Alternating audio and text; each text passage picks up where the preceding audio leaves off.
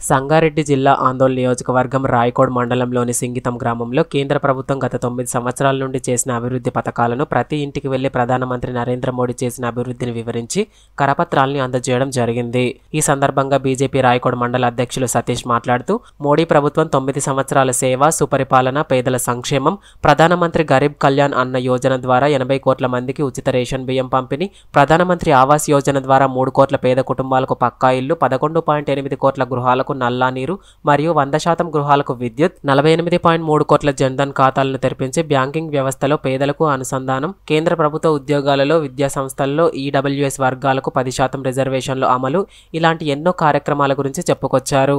ఇక ఈ కార్యక్రమంలో బీజేపీ సింగితం గ్రామాధ్యక్షులు ఎన్ నందకుమార్ మరియు నాయకులు A Shivakumar S Sai Kumar K Raju D Keshav M Sangayya తదితరులు పాల్గొన్నారు. పార్టీ నియమించడం జరిగింది.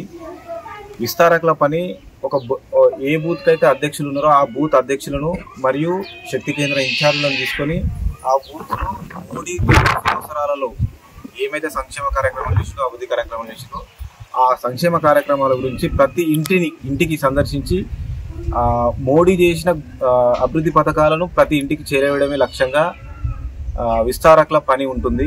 వాళ్ళు మూడు రోజులుగా గత మూడు రోజులుగా ఆందోళన కాన్షియస్లో జరుగుతున్నారు రాయకోడ మండలంలో అదేవిధంగా ఈ రోజు అందు ఆ కార్యక్రమంలో భాగంగా సింగ్టెం శక్తి కేంద్రానికి బూత్ అధ్యక్షుడు నందకుమార్ సమక్షంలో సింగ్టెం గ్రామ సింగ్టెం బూత్ బూత్ను సందర్శించడం జరిగింది. పార్టీ వాళ్ళకి ఏవైతే గైడ్ లైన్స్ ఇచ్చిందో ఆ గైడ్ లైన్స్ బూత్ అధ్యక్షులకు నేరుగా వాళ్ళ వాళ్ళ ఇంటికి వెళ్ళి బూత్ అధ్యక్షులకు ఏదైతే ముందు కార్యాచరణ చేయాల్సిందో బూత్ అధ్యక్షుల సమక్షంలో జరిగింది. అట్లనే రాయకోడ్ మండలంలో ఉన్న కార్యకర్తల అపోహలు ఏవైతున్నాయో ఏదో శక్తికి ఏదో విస్తారకులు వచ్చారు ఏదో మీటింగ్ ఉంది భారీ బహిరంగ సభ ఉంది. బహిరంగ సభ కానీ మీటింగ్ కానీ ఏది కూడా మండలంలో లేదు.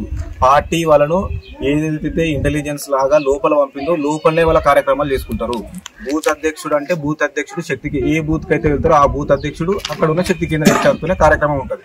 కాకపోతే ఏదో మండల అధ్యక్షుడు మీటింగ్ పెట్టమంటే మీటింగ్ పెట్టలేడు ఏదో అయిపోయింది ఏమో జరిగిపోయింది అని మా మాట్లాడే వాళ్ళకు సమాధానం ఏంటంటే పార్టీకి పనిచేసే వాళ్ళను పార్టీ గుర్తిస్తుంది. పార్టీని పార్టీకి దిగజార్చే వాళ్ళని కూడా పార్టీ గుర్తిస్తుంది. తగిన సమయంలో పార్టీ తగిన క్రమశిక్షణ చర్యలు వాళ్ళపైన ఉంటాయి.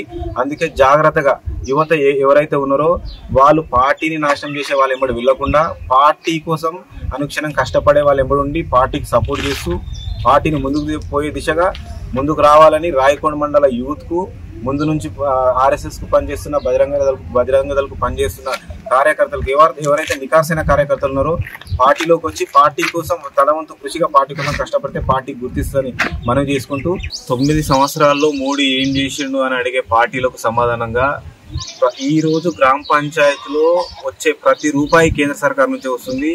మీ అకౌంట్లకు టీఆర్ఎస్ ప్రభుత్వం తాళాలేస్తే కేంద్ర ప్రభుత్వం కొత్త అకౌంట్లు తీసి గ్రామ పంచాయతీలకు బడ్జెట్ రిలీజ్ చేసిన ఘనత మోడీ ప్రభుత్వంది. మీ ఊర్లో కరెంటు మొదలుకొని లైట్ బుగ్గల నుంచి మొదలుకొని రేషన్ బియ్యం వరకు అందించిన ఘనత మోడీ ప్రభుత్వానిది. వచ్చే ఆసరా పింఛన్కు కు పేరు మార్చుకొని దాంట్లో ఎయిటీ పర్సెంట్ కేంద్ర ప్రభుత్వం ఇస్తున్న నిధులను ఆసరా పింఛన్ రూపంలో మీరు ఇరవై ఇరవై పర్సెంట్ యాడ్ చేసి ప్ర- ప్రజలకు అందించి టీఆర్ఎస్ ప్రభుత్వం ఇస్తుందని మీరు తప్పుడు ప్రచారం చేసుకుంటున్న టీఆర్ఎస్ కూడా ఇది తెలిసి రావాలి. ప్రజలకు అర్థమయ్యే విధంగా ఏదైతే ఈ సీసీ రోడ్లు ఉన్నాయో ఎయిటీ పర్సెంట్ కేంద్ర ప్రభుత్వం బడ్జెట్ ఇస్తుంది ఏదైతే సర్పంచ్లకు వచ్చే నెల నెల బిల్లులు ఏదైతుందో ఆ నెల నెల బిల్లులు కూడా కేంద్ర ప్రభుత్వమే భరిస్తున్నది.